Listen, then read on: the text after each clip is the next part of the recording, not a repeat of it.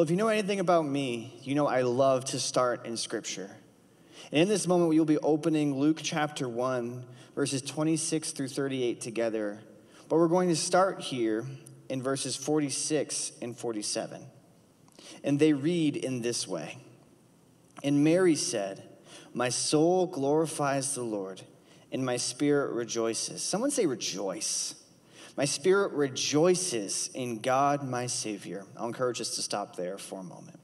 I want to set the stage for this conversation by describing to you my instrument career, my music career. When I was a kid, I loved to play guitar.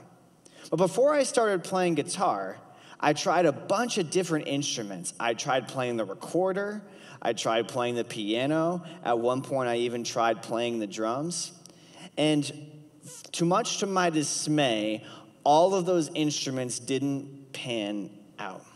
They didn't work out, and I never really quite enjoyed them as much as the guitar. Well, how many of us have ever heard of a child playing a recorder? Or parents, if you're bold this year, getting your child a drum set for Christmas. There's a lot of love in parents who give their child an instrument like that. And in the same breath, one of the loud instruments that has really fascinated me, one instrument that I never got the chance to learn, is the trumpet. And that's because the trumpet is really hard, not just to play the notes, but to get the correct breath to give a powerful and strong sound. The trumpet is a powerful and also an historical instrument.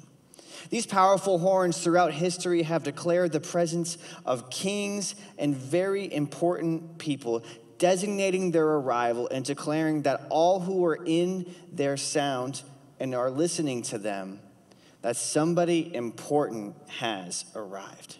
Specifically, the fanfare trumpet or the herald trumpet was usually used to mark that arrival. And when someone heard the piercing noise of that fanfare or herald trumpet, there's a response expected for them to do. They were to stop whatever they were doing and bow down, for a king was coming. Often, the pattern of the trumpet playing, even, could indicate who that king was and even how important they were. A trumpet is not just an instrument, but historically, it means a lot more. Now, let me turn a corner and bring that imagery over to what's happening here in Luke chapter 1. Because what an image of the virgin birth. And when I say that, I mean that just like the trumpet tells us who the coming king is, to the glory of their kingdom, and this is my main point, my big idea, the virgin birth tells us who the Messiah is, to the glory of the one who sent him. The virgin birth tells us who the Messiah is, to the glory of the one who sent him. Now, this virgin birth presents a challenge to us. That not only because of the natural limitations we face, but also what it means. The one who was born to Mary is the Messiah, not born simply of natural means, but of supernatural ones. And this makes us ask ourselves the question how are we to respond? How should we respond to this Messiah? Because if we're honest, many of us don't know what to do with Jesus. We don't know what to do with this God. Some of us consider him a good prophet or a good teacher, but many of us wouldn't consider who he really is, and that is the Lord of our lives, the Messiah, the Son of God. In these passages, we believe present three thoughts that answer that all important question of how we are to respond to Jesus. And the first thought that this passage addresses is that we need to recognize his deity. As I've mentioned, we're going to be spending time in Luke chapter 1, and we're going to start here in verses 26 through 33 and then expand more of the passage together. Verse 26 In the sixth month of Elizabeth's pregnancy, God sent the angel Gabriel to Nazareth, a town in Galilee, to a virgin pledged to be married to a man named Joseph, a descendant of David. The virgin's name was Mary, and the angel went to her and said, Greetings, you who are highly favored, the Lord is with you. Mary was greatly troubled at his words and wondered what kind of greeting this might be. But the angel said to her, Do not be afraid, Mary. You have found favor with God. You will conceive and give birth to a son, and you are to call him Jesus. He will be great and will be called the Son of the Most High. The Lord God will give him the throne of his father David, and he will reign over Jacob's descendants forever. His kingdom will never end. I'll encourage us to stop there. Now, in order for us to understand what's happening here in this passage, we need to step into the scene to understand the context. The author of the Gospel of Luke is Luke, and he was writing volume one of a two volume series. Luke is volume one, Acts is volume two, to a man named Theophilus. And he is providing an account for all he has seen and heard. And he speaks of an odd way for the Messiah to come to the world.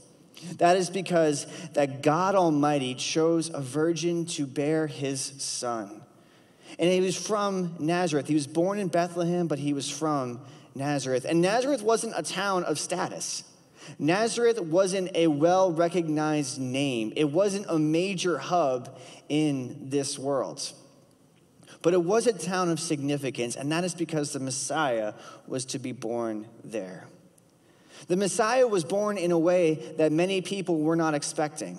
Many people would expect the Messiah to be born with pomp and with circumstances, with the declaring of trumpets, with the announcing and arrival of a coming king. But that is not how we find this story to be written. This Messiah was born in a humble way. And this childhood he lived was a humble one. And this proves that God was not bound to the expectations even of his chosen people. He shows his son's deity in spectacular ways, ways that go beyond expectation. And this expectation leads us to the first way that Jesus' birth was beyond expectation, and that is because this birth was a miraculous birth. We need to know what to do with a supernatural birth. Because it's not just for hard for us to believe, but as we will discover later in this series, it was hard for Joseph, her husband, as well, or her future husband at this time. The birth that came to Mary is the first and only time this has ever happened. And we can believe it to be true based on who Jesus was and the life that he lived. Jesus' life was well documented to be a life of the supernatural, leading us to put more trust in the reality that his birth shared a similar theme. But Jesus was not only someone who was able to perform signs and wonders, but he was also, and write this down as point letter B, a child of the Most High. Luke's claims to Theophilus are upfront and right in our faces. He doesn't mince words or try and make it a vague idea as to what he is describing or who he is describing Jesus to be. He, Jesus was not just a good teacher, a healer, or an important historical figure, he is God. And he's not a God that's one of many, but he is the Alpha, he is the Omega, he is the one, he is the only. And what we need to understand about Luke's gospel is that there is not any wiggle room in this idea. Luke doesn't try and get us to interpret this reality for ourselves. He declares what he knows to be true that Jesus is the promised Messiah, that he is the Son of the Most High. And Jesus was not just somebody who was a great person or a great teacher, but he's making the statement, Luke is, early and often, that Jesus is God and God himself in the flesh. And in his deity, he also proves, and write this down as point letter C, is that he is a mighty God. He is a mighty God. Jesus himself claims to be the Son of God. And for context's sake, this God to the Jewish people was also the one who would set them free from Egypt. This God would be the one who, throughout Israel's history, would be with them and walk with them in a perfect covenantal relationship from his perspective and would guide them even when they were rebellious, who would show them grace and love and mercy time and time and time again. Jesus is the echo of Isaiah chapter 9, verses 6 through 7, as the mighty God. And he is not only the one who would heal Israel but all people who believe and trust in him would be set free and healed from their sins as well. He did this in a way that we wouldn't expect him to. Again, he didn't come in this brash or declarative way. He didn't make a bunch of people know who he was, but he was born in a way that was more removed. He lived in humility, and he asks us to do the same. We respond to Jesus not just by responding to his deity, but also, and write this down as point number two, big point number two, we respond to him in humility. Verses 34 through 38 of Luke chapter 1 read in this way. How will this be? Mary asked the angel, since I am a virgin. The angel answered, The Holy Spirit will come on you, and the power of the Most High will overshadow you. So the Holy One to be born will be called the Son of God. Even Elizabeth, your relative, is going to have a child in her old age, and she who was said to be unable to conceive is now in her sixth month. For no word of God will ever fail. Verse 38 I am the Lord's servant, Mary answered. May your word to me be fulfilled. And then the angel left her. I'll encourage us to stop there for a moment and write this down as point letter A. And that is that humility recognizes God's power over ours and submits to that power in love. The God of all creation the one who put the stars in the sky and knows all things, chose in his divine wisdom to be born in a manger. In every way, God could have come to earth. He could have come in a brash or a big way, but rather, He came in humility, modeling for us how to live and who to look to. He shows us the value of a life giving relationship and then gives us the greatest example that is his life. God did not come to the earth in pomp and circumstance, but in humility and surrendering to the task at hand. When we truly consider his greatness and marvel at his majesty, it simply goes beyond our ability to process. We can't earn the love of God. We cannot keep on our own the love of God, yet it remains readily available to us. And this should humble us. This should make us realize that it's not us who is doing the earning of any love, but that it is a free gift given to us in grace. Because we can't make God love us anymore, and we can't make him love us any less when we are able to recognize our need for God, we are able to increase his dependence on him. We think of this dependence and we think of this humble way of living, it means that our desires and our ways, our thoughts, our motives take a back seat to his thoughts and his ways. And for many of us, this seems like a restricting thought. But in actuality, instead of a restricting thought, what we find is more liberty. And that is because the ways and the thoughts and the desires that we are living for in this life no longer become our temporal or our limited desires, but rather become His eternal and His unlimited desires. The ones for us that go beyond our imagination, our ability to even describe. When God's ways are our ways, His glory will be at the forefront of our minds, and our lives will be changed as a result. We don't have to look for our own way anymore.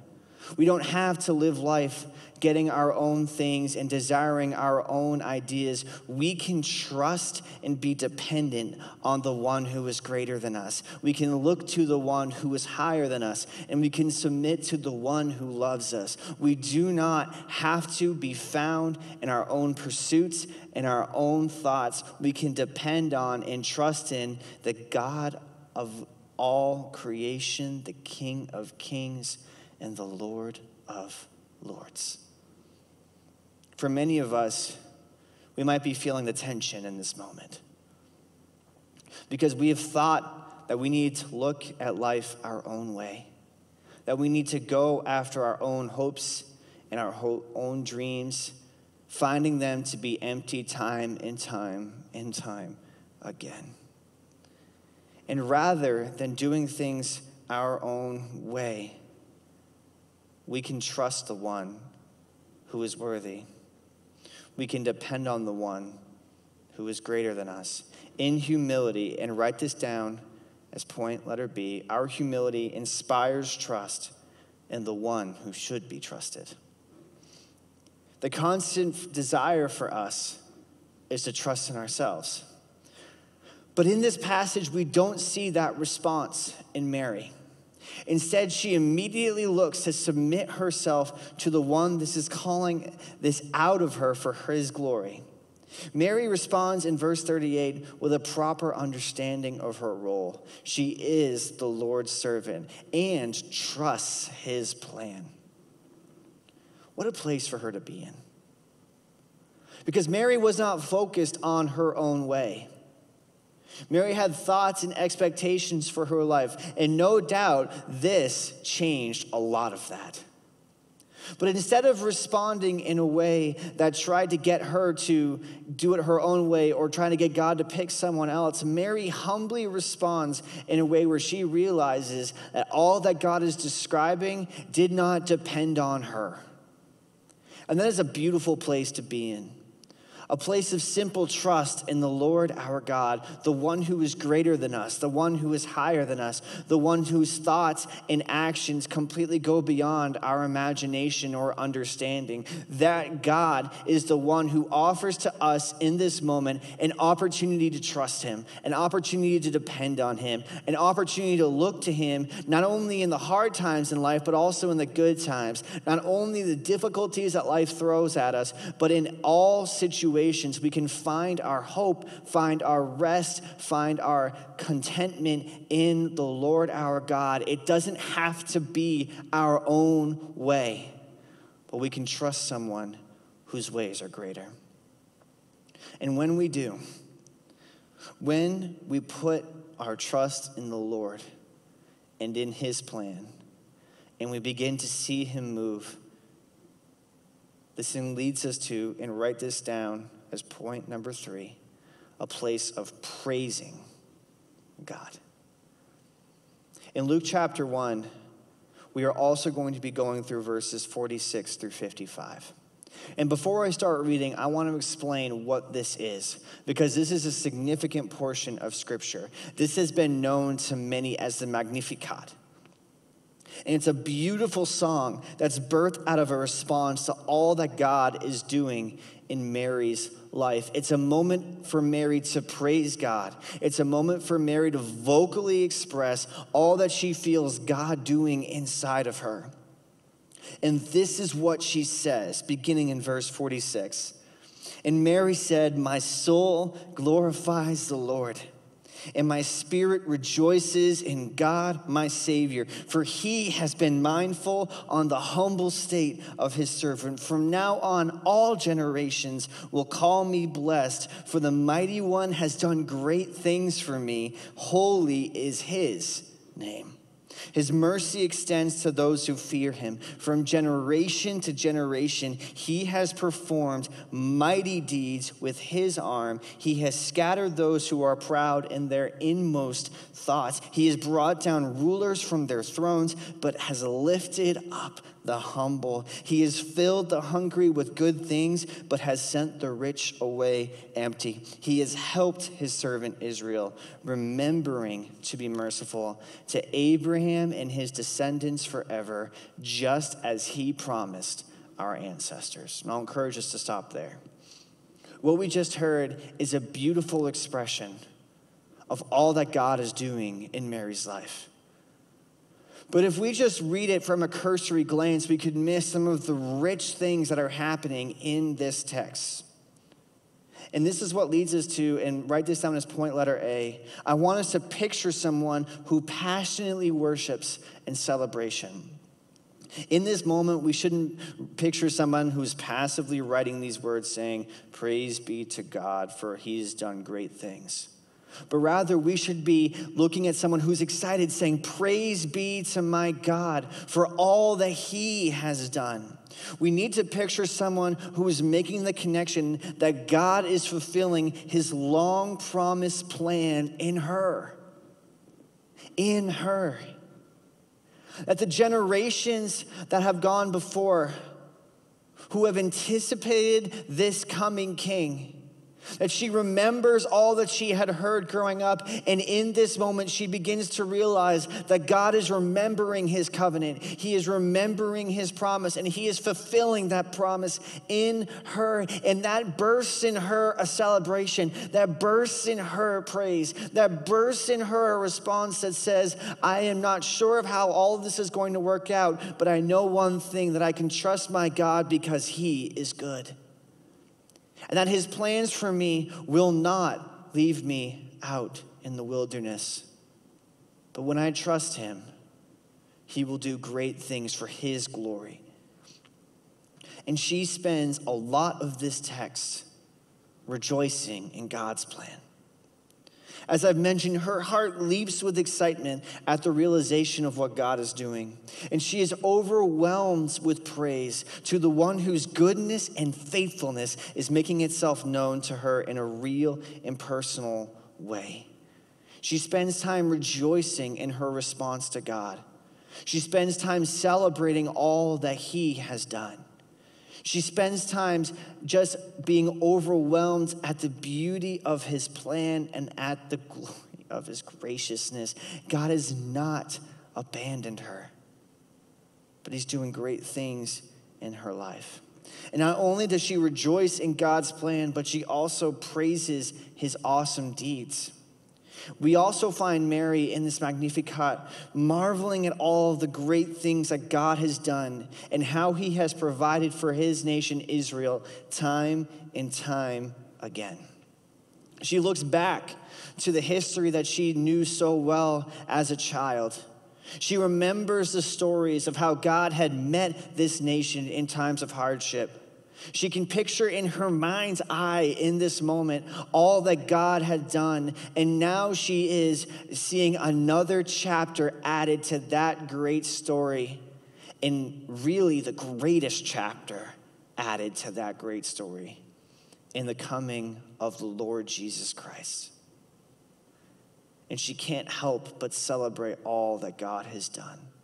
She can't help but just be blown away and she expresses gladness towards his covenant keeping nature. When I say the word covenant, I mean a promise, a promise that God had given to Abraham. And Mary is seeing how God's actions are in accordance with that covenant he made with Abraham, which puts his nature and his plan into focus. This covenant that God had given to Abraham was at this point over a thousand years old. And in this moment, we see the greatness of our God because his plans are so specifically ordered. His love finds itself expressed so perfectly in time that this moment she is realizing in history will not pass her by, but that this is the moment that God is making his Messiah come to planet Earth, that he is sending his son. And in this moment, she's beginning to see God's plan for his people unfold. She doesn't fully understand it yet. She hasn't fully put the pieces together.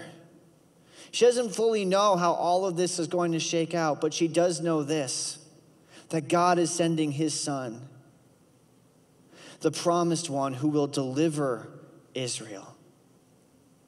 And what a beautiful moment she finds herself in. And it was at this juncture that Mary began to see how God was making his great plan known to and through her. And she responds how she should in praise. Not only is she praising in her own life, but write this down as point letter B. She praises because she recognizes God's faithfulness to those who have gone before us. Imagine with me the pure excitement of this moment and watch how she places this praise in the context of history.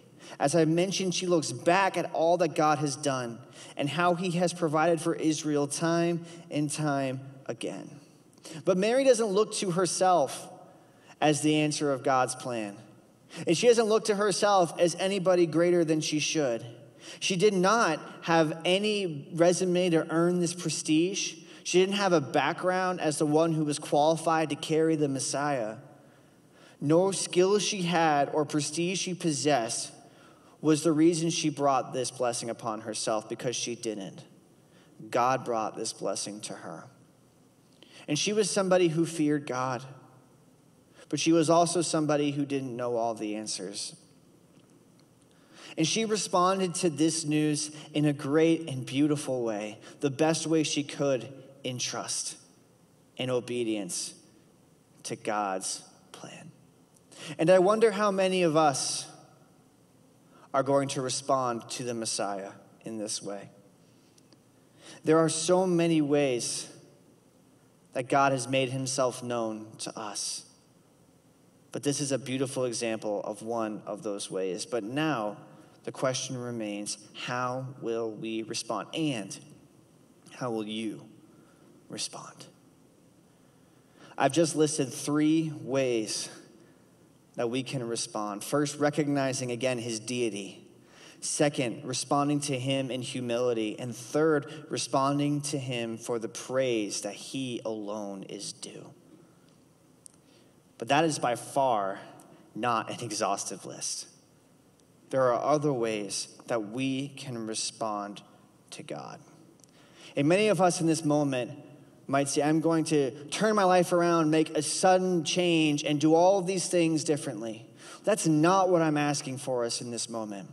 Instead, I'm asking for us individually, each one of us, to identify one area in our life in which we can respond to God. Because frankly, we don't feel like we need to submit to Him perfectly. We can't. We're on a journey. But the question remains how can we respond to Him in one way in this moment? Because we can ask God for help for us to see how He is moving, and we can choose to respond to His greatness. No level of performance ever made Mary highly favored. It didn't make her more prestigious, more great in God's eyes. God did not choose her because of anything that she had done. He chose her because his favor for her originated in him, in God, not in her. And the same is true for us. My prayer in this message is not that we would respond by trying harder, by trying to figure out everything that we have to do in life. It's not saying that we don't put these words into practice, of course that we do. We try and respond to God the best way we can, but we don't just do it in our own strength. We pray and ask God to walk alongside of us in that process to help us be more like Him. And so, wherever we find ourselves in response to this message, my encouragement to us is not that we would try so much harder to be more like Jesus, but we would trust Him more. We would look to Him more. We would find his love for us and allow that love to be the catalyst for something greater in our lives. Not anything that's about us, but things that put the focus and emphasis on him. And when we are able to trust God in greater ways, when we can submit to him in more ways, it allows us to put the focus on him. We can ask God for help in studying his word in surrendering our finances to Him, in praying for friends, in sharing the gospel more with those around us. Regardless of how we respond, my prayer is that we respond. It's not saying that we won't mess up in our response. It's not saying that we're going to have it all figured out in response to one message. Rather, I'm asking for us to take a baby step forward to look at our life and to say, Lord, how can I respond to you in one more way now? How can I respond to you in one more area of my life? And our prayer is that we can walk alongside of you through that, that we can be available to you in the midst of that. That regardless of where we find ourselves, that we would realize that we are not alone in the midst of this, but that there is a biblical community that is focused on coming alongside of all people, whether in New Hampshire or anywhere else in the world, and seeing how God can make his faithfulness known to them. And so the question still remains how will you respond? And the answer may just blow our minds.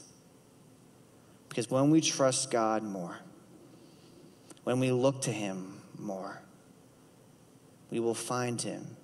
He will walk with us, not because of anything that we've done, because of who He is, what He's done, and the love that's present in all of it. And in this way, we can see God moving in our lives and trust Him as the only one who can carry us through.